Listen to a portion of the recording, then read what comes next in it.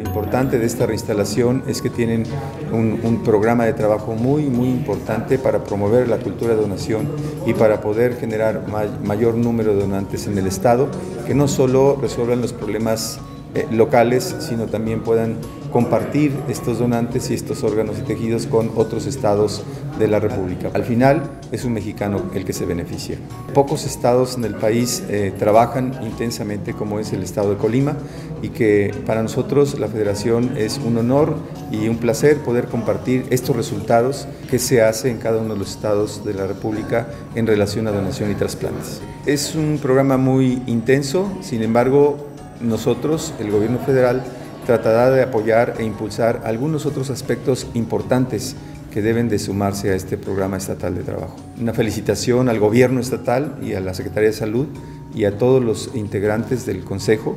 que aquí estuvieron presentes, que apoyan y fortalecen este programa estatal de donación y trasplantes, que es un ejemplo en el país a seguir.